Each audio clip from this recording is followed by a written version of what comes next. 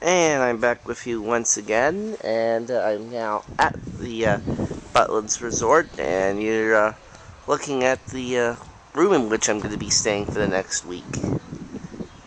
Well, it's uh, not much from out here, but uh, but trust me, on the inside, it's going to look much better. And and I've uh, definitely got many more videos uh, to bring you here from uh, from Bognor Regis and of course London over the next week. So uh, I will see you for those.